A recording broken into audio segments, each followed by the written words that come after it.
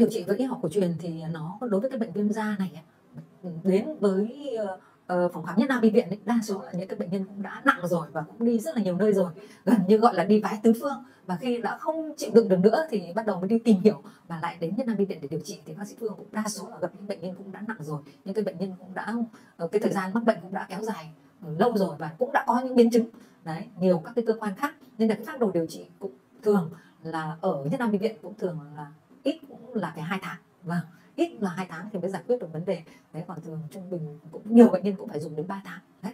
Vâng đấy là cái phác đồ điều trị chứ không phải là một trong một nhang mà khỏi được đâu, bởi vì nó không phải là cái bệnh, nó thuộc về cơ địa, phụ thuộc hệ thống miễn dịch, nên là không thể nhanh được. Vâng.